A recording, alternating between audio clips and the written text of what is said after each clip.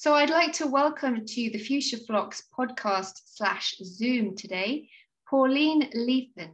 She's an international artist and art gallery owner. Pauline, welcome to the show. Thank you. So, Pauline, what was your childhood dream? I loved beautiful things like my grandmother's furniture and jewelry, and I loved flowers. And I just always wanted to be surrounded by beautiful things. That was sort of my childhood idea. Okay. And when did you first get the de- desire to paint?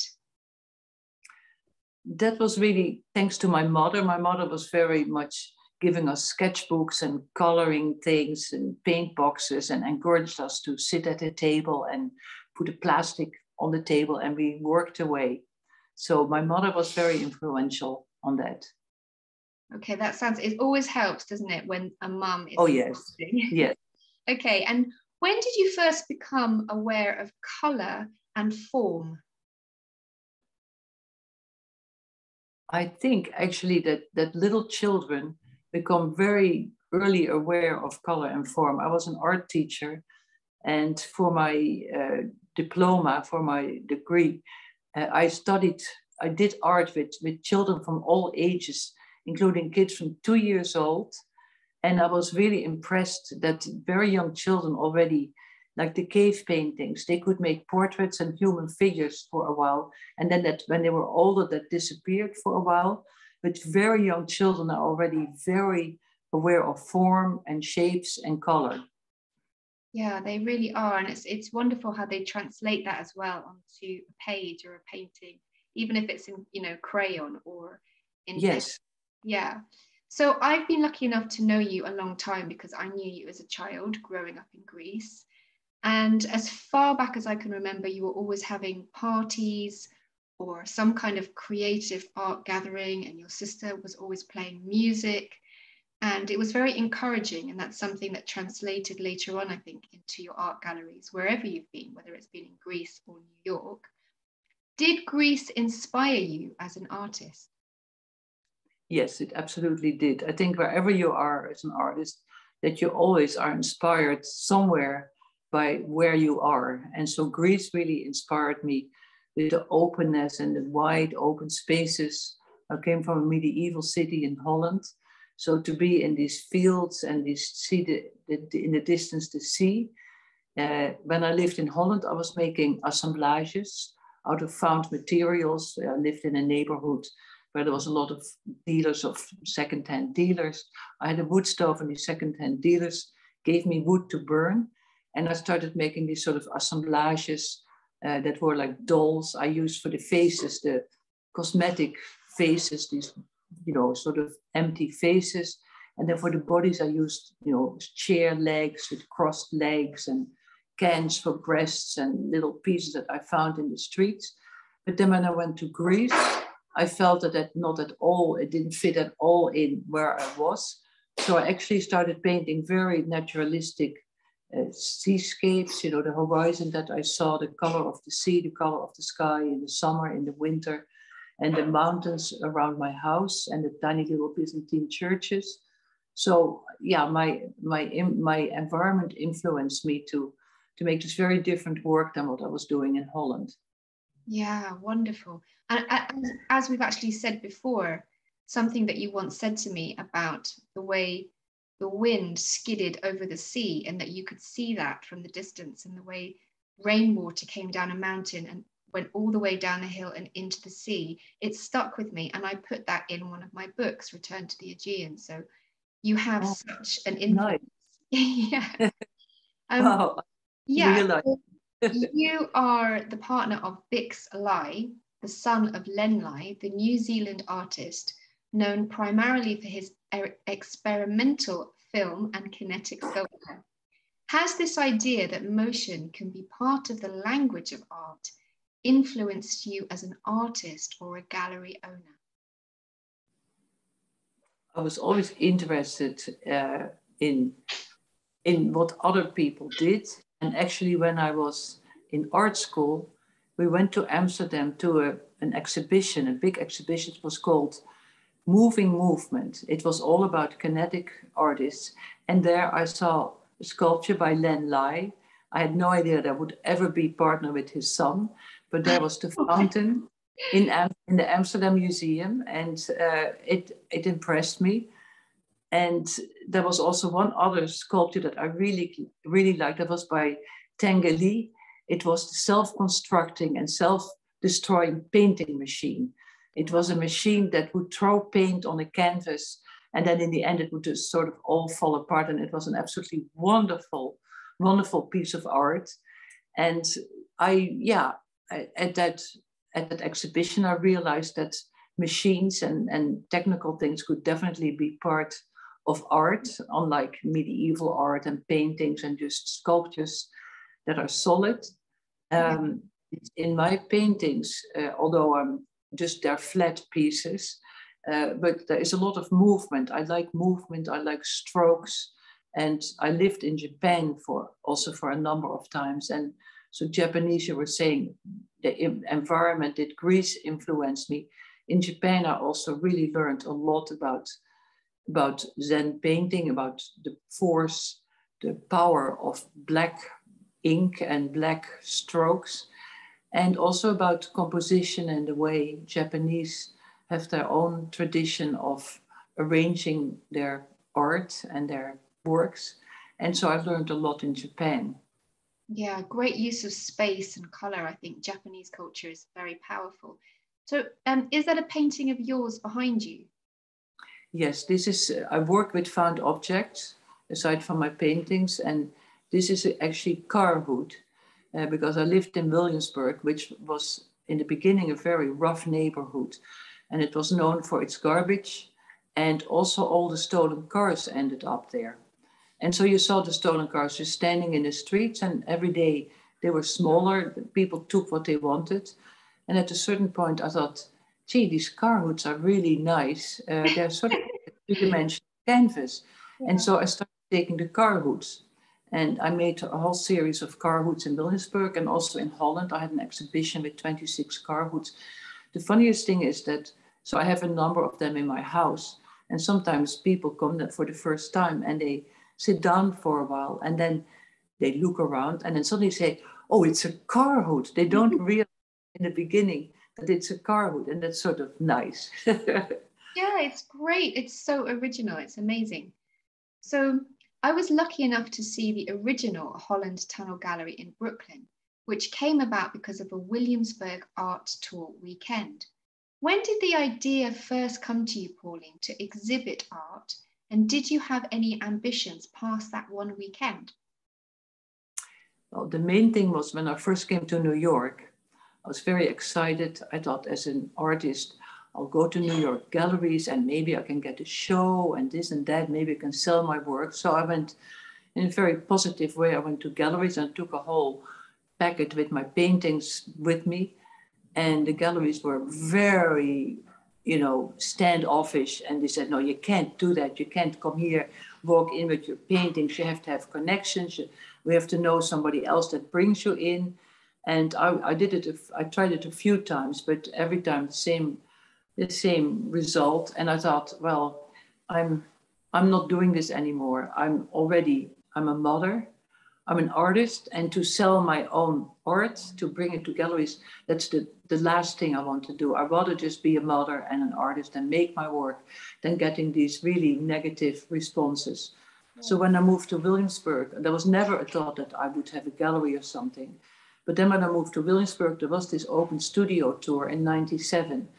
And I had just built this tiny little pristine shed for my plant, my potted plants in the winter. It's a little 8 by 10 Home Depot shed.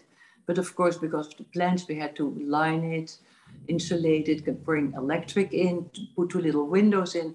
And it was really a beautiful little space. And I thought, gee, there's open studios. I'm going to invite my friends and put myself in the gallery for a mini show.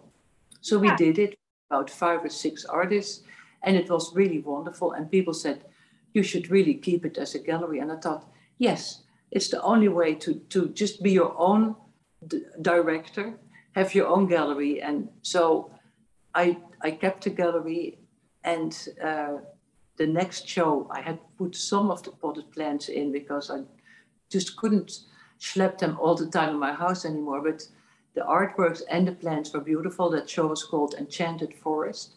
And I felt empowered to be able to make my own choices in, in what artist I showed. And sometimes I put myself in a group show. That's what wow. happened. So you were like the original girl boss. yeah. you know, I love that. You were like, yes, doing it for yourself. Woo! Yeah. Just do it. yeah, absolutely. That's great. So, did people support you in pursuit of your dreams aside from your friends? Did you ever have to come across any kind of negativity as a kind of female boss? Did you ever come across any kind of male figures who said to you, "Oh, you know, that, that you know, who weren't encouraging?" no, people have always helped me. I think because people feel that I really stand for what I want to do. And I've never had any feeling that that men or males were in my way. I think I'm too tall and too Dutch for people to date that. oh, okay. So you own galleries now in Newburgh, New York, and Paros, Greece. How did those galleries come into creation? Well, I had the Little Holland Tunnel in Williamsburg. And then on Paros, I bought in the town, you know the town of Parikia very well. Uh, my sister, who is a, a, jazz musician, a very good jazz musician and vocalist, we always had this dream to have somewhere a big old house where her partner could have a studio. I have a studio in the house where I live outside in the country, and where she could have concerts and where we could show artworks and have readings and have you know poetry being spoken and so in the end we looked even at other islands and we looked in, in Marpissa, you know where that is. And in the end we found it in the center of the main town of, of Paros right around the corner where my sister had, had a small house. We found this place right in the center but in a little hidden corner. So we bought together in the beginning in 2001 or two or something we bought together this big old house. That was really the house of especially my dreams. And we fixed it all. It was very neglected. Wow. And so we had had it rented. You know, my sister lived there for a while. It was too big for her. But it's now an American, American art school. And in, downstairs in these old storage spaces with arches, with marble pieces, we made a gallery. And it's only open in the summer uh, for six weeks about. And in the beginning, I did it also the Greek theme, like metamorphosis, uh, Olympus, revi- Olympus revisited, um, just Greek themes that that were nice for. And I invited international artists to play with that theme. And my sister was upstairs in the summers. In the winter, we tried to rent it, but in the end, there's now an American art school in the winter in the whole building and in the summer, I have the gallery and upstairs for, for exhibitions and for other things.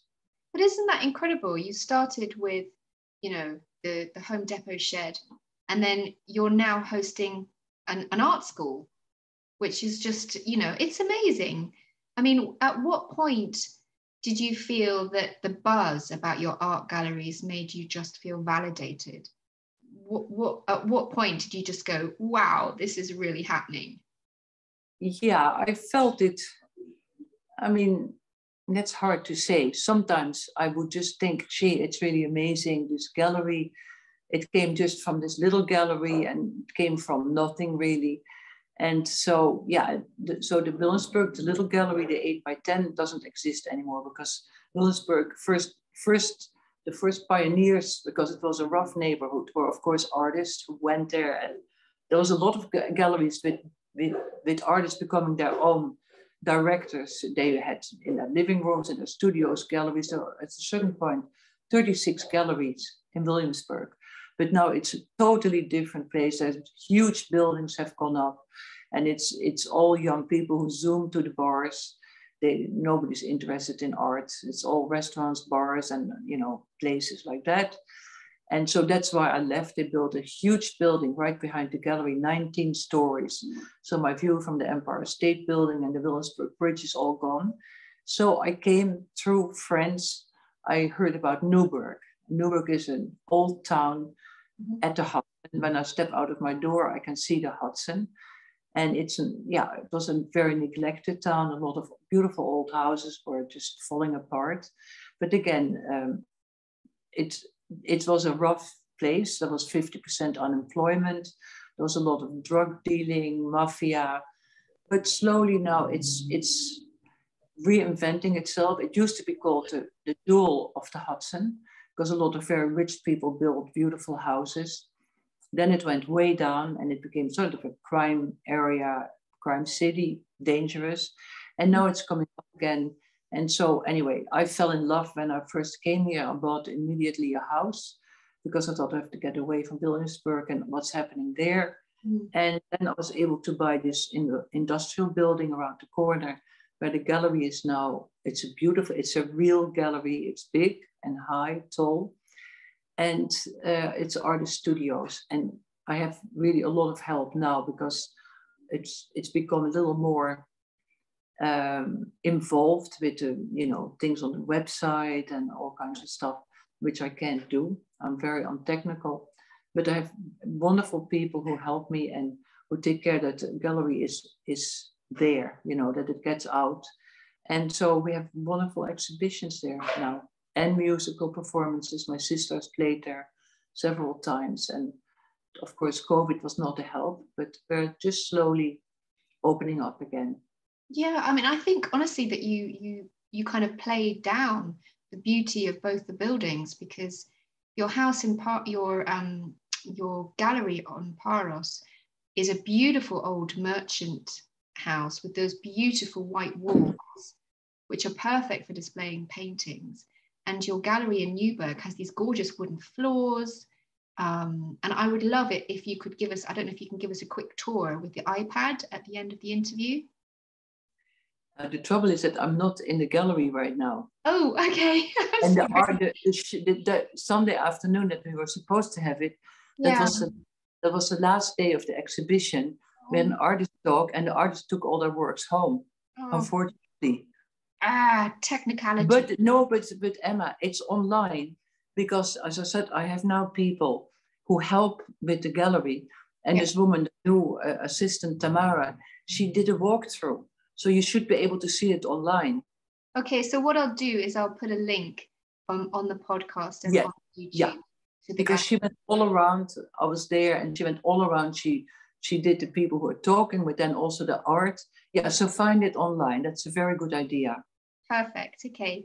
So we're this um, podcast slash Zoom is about dreams. So Pauline, what's the best thing that has happened to you in your pursuit of dreams? Well, I think the most important thing is my kids and my grandchildren. That's the most important. Also, when I was little, you know, playing with dolls and stuff, I always thought, oh, I want to have babies and I want to be a mother. So that's the most important thing. Mhm. And as far as dreams, other dreams, um, I I also love the places that I live there. Also, I always wanted to be in a very nice old house. I love old things. Uh, my dream about my art is that I haven't, in the last few years, I haven't been making enough art. I always worked a lot in Greece because I have a wonderful studio there. And I haven't been like two years, it's two years ago that I was there. Then the year before we didn't go. And then this year we were there, but there were some circumstances. It was, for one thing, it was the hottest summer in 43 years. It was very crowded in town because I think a lot of people had been locked up.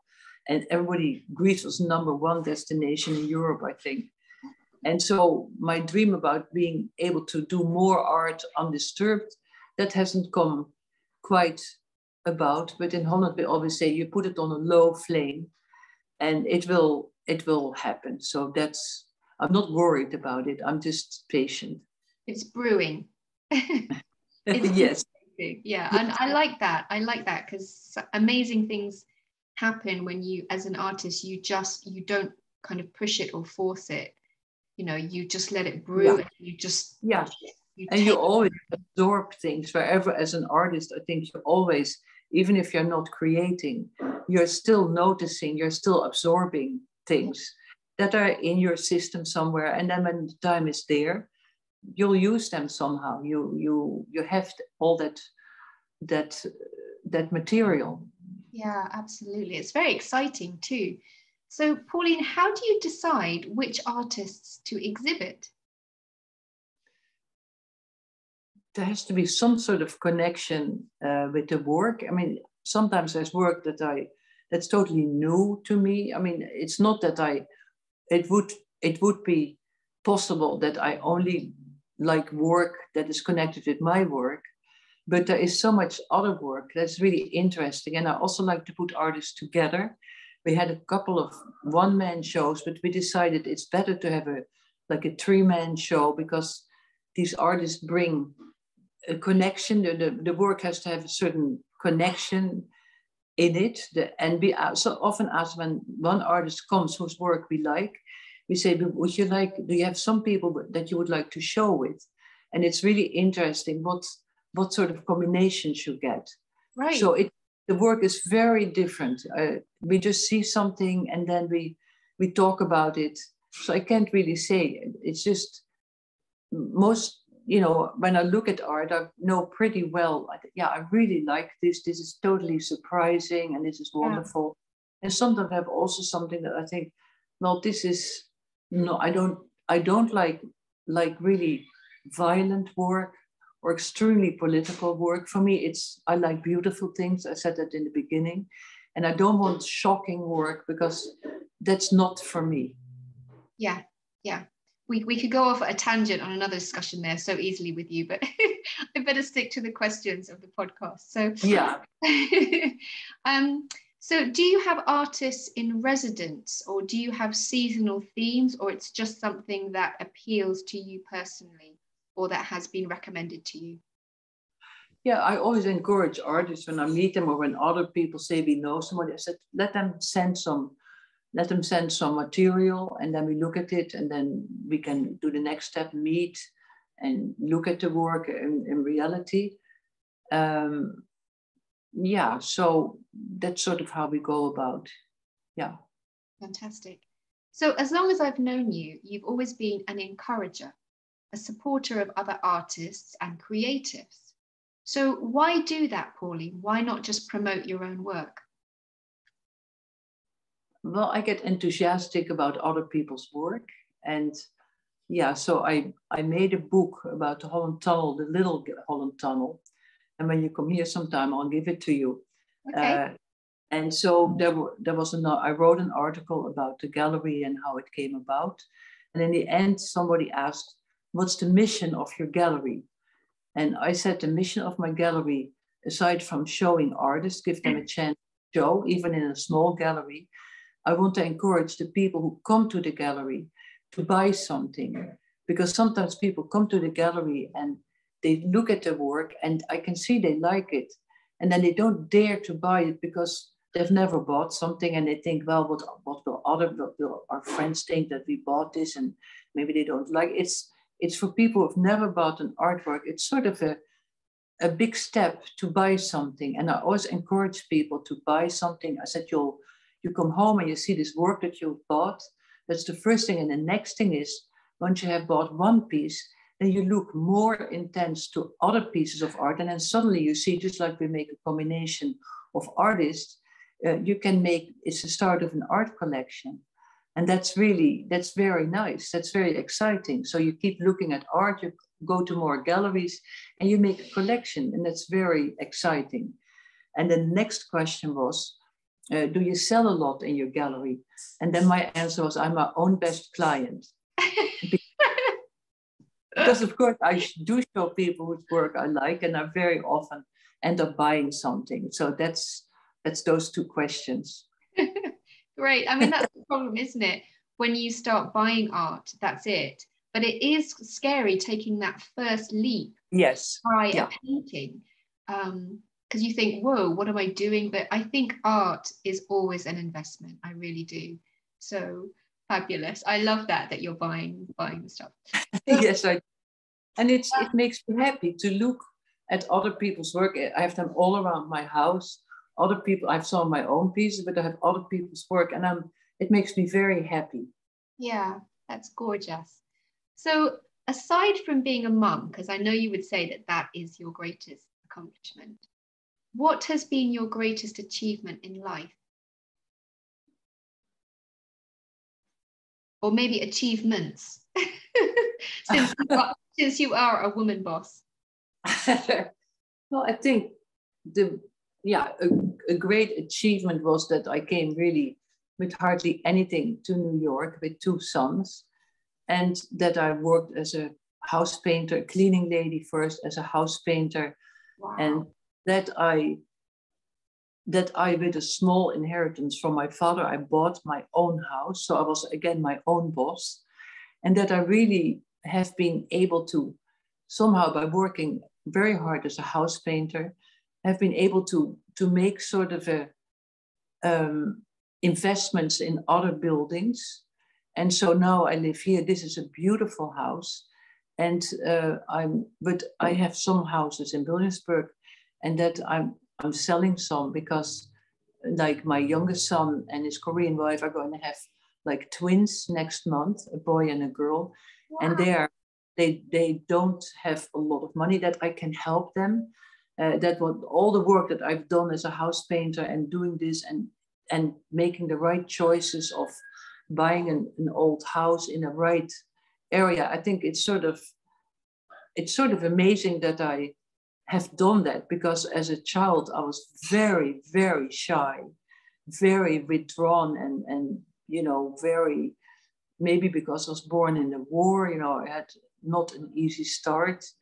And so that as this really shy, sort of moody child, that I that I just did this, you know, that I have this gallery and that I can that I can be with other, I can make a nice meal here for other people and be together with people and the, the gallery is really nice. Like Sunday, this closing of the, the with the artist talk, the artists were so nice and they thanked me. And I thought, this is so nice that we can do together all these things. We do together all these things that are really positive and it makes me happy.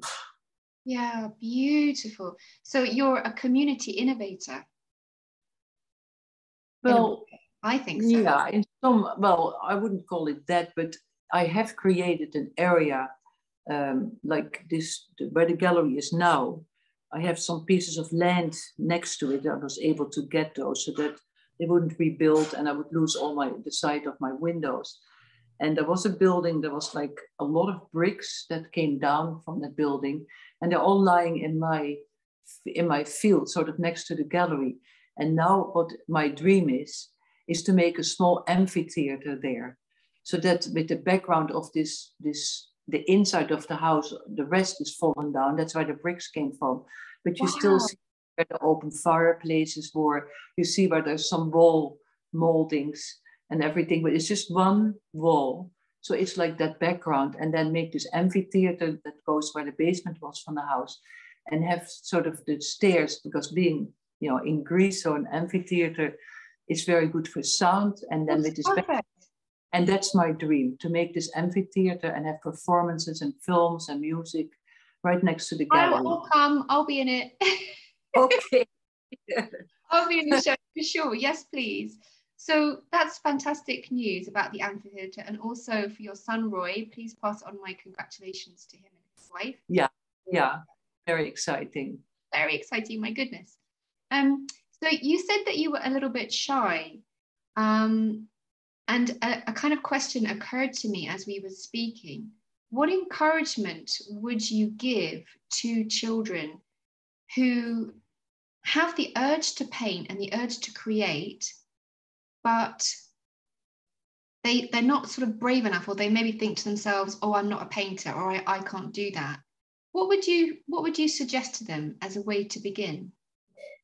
Well, the thing is, I was an art teacher for a number of years, and a lot of kids are frightened because they think they have to uh, make, make it perfect. And the thing is, there is no perfect. I always say, whatever you do is, is good. It's you. Yeah. And everybody does something different. It doesn't when sometimes kids, smaller kids came to me and said, Oh, can you help me draw the face or something? I said, No, you, you make the face however way you do it, because it's you, it will come out of you, and that's the way it is. So I always encouraged the kids to just be themselves, to not be scared. I said, you just do it. And actually, I still have from the time I was a teacher, because a lot of kids were very frightened of faces, especially to make a face. And I let the kids sit across from each other and they made these portraits of each other. And I asked if I could have some of those portraits. And I have a whole collection of children's drawings, which I'll show in the gallery sometime because they're from 1968 or something. It's when, yeah, 1967. It was very cheap paper, unfortunately, because that's what they got in the school. But I have a whole collection of children's drawings and including those are those portraits and they're absolutely wonderful. They're so one i said you just make each other's portraits. And they did and it was i made all these little exhibitions in the hallway of the school to see each subject you know to have a little exhibition and, and the kids liked it the teachers liked it. But i'm going to make an exhibition all these really old 1967 drawings in the gallery and i want to combine it to, to connect with schools here if the kids can also make drawings and to have like then and now that's gorgeous. I'm sorry, I was like caught up with your enthusiasm there. It made me want to giggle. it was so lovely. That's so gorgeous that you kept those. So yeah. would you would you encourage others to pursue their dreams or pursue their ambitions? What what words of caution or advice would you give to others? Well, I think first of all, don't go overboard. You know, keep it within reality. Yeah. But I say just go for it. Go for it. And and if you really want to do this, don't give up. You know, find ways, creative ways to to make to make it happen. Yeah, absolutely fabulous. Is there anything that you would like to add to any viewers about your art or about your um, beautiful galleries? No, I don't think so. I I love my galleries. I love the contact and the you know the working together with artists and with all these people.